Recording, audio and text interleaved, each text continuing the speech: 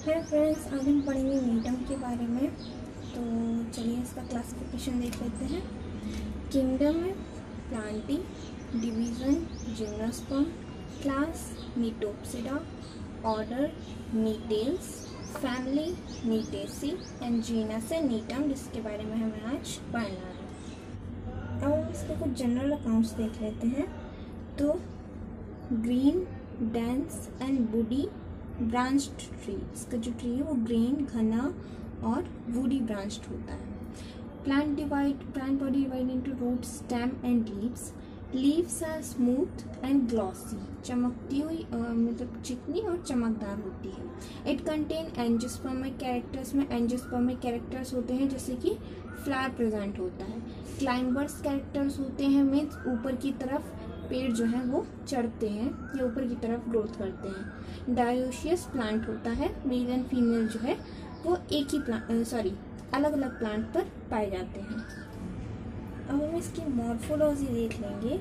तो stem is branched long shoot and dwarf shoot present flower present unlimited shoot in unbranched जो unlimited shoot sorry जो unlimited shoot होते हैं, वो branched नहीं होते हैं। Limited shoot is branched no petiole in leaves node and internode presents leaves और limited shoot जो लीव्स होती हैं, वो लिमिटेड शूट पे होती हैं अनलिमिटेड पे नहीं होती सॉरी अनलिमिटेड जो पे जो हो लीव्स होती हैं, वो स्केली होती हैं एंड जो लिमिटेड शूट पे जो लीव्स होती हैं, वो लार्ज होती हैं। Leaves are large in size इसके बाद हम देखेंगे एनाटॉमी तो एनाटॉमी में सबसे पहले हम स्टेम की एनाटॉमी देख लेंगे।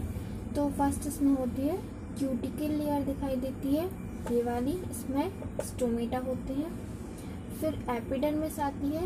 उसके बाद outer cortex middle cortex middle cortex में कुछ फाइबरस सेल्स प्रेजेंट होती हैं इस टाइप की छोटी छोटी फिर आता है मिडिल कॉर्टेक्स के बाद इनर कॉर्टेक्स इनर कॉर्टेक्स के बाद एंडोडर्मिस एंडोडर्मिस के अंदर पेरीसाइकिल पेरीसाइकिल के अंदर वेस्कुलर बंडल प्रेजेंट होता है। इस बंडल में फर्स्टली होता है फ्लोयम बाहर की तरफ़। उसके बाद बीच में फ्लोयम जाइलम के बीच में कैम्बियम दिखाई देती है।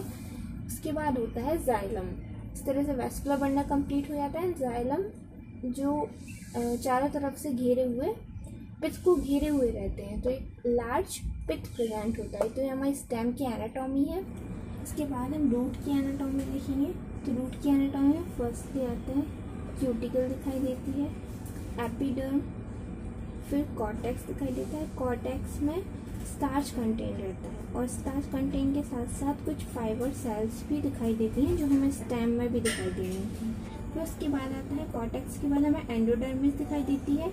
एंडोडर्मिस के बाद पेरीसाइकिल पेरीसाइकिल के बाद हमें वेस्कुलर बंडल दिखाई देता है, जिसमें अंदर वाले जाइलम मेटाजाइलम होते हैं एंड बाहर के जाइलम ये प्रोटोजाइलम होते हैं। एंड जो बाकी का एरिया होता है वो फ्लोयम होता है। इसके बाद जो लीफ की एनाटॉमी देखेंगे तो लीफ की एनाटॉमी में फर्स्टली हमें उसी तरह से क्यूटिकल दिखाई देती है एपिडर्मिस दिखाई देती है एंड लीफ में मेजोफिल सेल्स प्रेजेंट होती है। ये मीजोफिल सेल्स एंड यहाँ पे बीच में जब वेस्कुलर बंडल प्रेजेंट होता है, वहाँ पे वेस्कुलर बंडल्स के बीच बीच में स्टोन सेल्स प्रेजेंट होती हैं। इन वेस्कुलर बंडल्स के आगे या साइड में palisade cells and spongy cells present होती हैं। एंड वेस्कुलर बंडल्स में xylem cambium and phloem present होता है। एनाटॉमी के बाद हम प्लांट के फ्लावर्स की बात कर लेते हैं। तो यहाँ पर प्लांट जो है वो डायोशियस होता है तो मेल प्लांट मेल फ्लावर अलग प्लांट पे होता है फीमेल फ्लावर अलग प्लांट पे होता है। तो फर्स्टली हम मेल स्ट्रोबलस की बात कर लेते हैं। मेल स्ट्रोबलस जो है, वो क्लस्टर्स फॉर्म में होता है। उस पर एक मेल स्ट्रोबलस में 12 टू 25 मेल फ्लावर्स लगे हुए होते हैं। Found on apex of node apex node की एपेक्स पे ये स्ट्रोबलस ये फ्लावर्स प्रेजेंट होते हैं। नोट्स जब फ्यूज हो जाते हैं, तब ये स्ट्रोबलस बनता है। जब इंटर नोट्स जो नोट्स प्रेजेंट होते हैं जब वो फ्यूज हो जाते हैं, तब ये स्ट्रोबुलस एक कंप्लीट होता है। एंड बहुत सारी नोट्स जब क्लस्टर्स फॉर्म में होती हैं, तब ये मेल स्ट्रोबुलस क्लस्टर्स फॉर्म में प्रेजेंट होते हैं।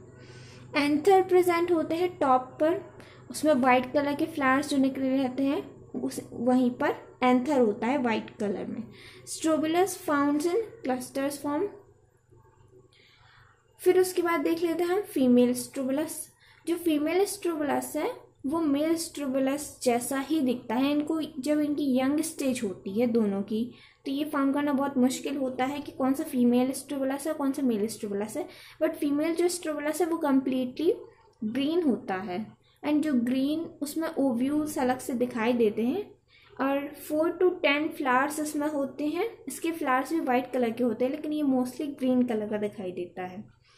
और ये जो फ्लावर्स है सॉरी जो ओव्यूल है, वो थ्री एनवेलप से सराउंडेड रहता है. Outer envelope middle envelope and inner envelope male and female के स्ट्रोबुलस देखने के बाद हम देखेंगे फर्टिलाइजेशन तो फर्टिलाइजेशन में हम जो पोलन ग्रेन होता है, वो जब एंथर के अंदर होता है, तब वह डिवीज़न करके दो सेल्स बनाता है. एक प्रोथेरियल सेल और एक एक अदर सेल बनती है जो कि आगे फर्दर डिवाइड करके दो सेल्स बनाता है। एक जनरेटिव सेल बनाता है और एक ट्यूब सेल बनाता है और प्रोथेलियल सेल भी रहती है। जब ये पोलन ग्रेन ओवरी ओव्यूल के ऊपर पहुँच जाता है, तब ये पोलन ट्यूब बनाना स्टार्ट करते हैं।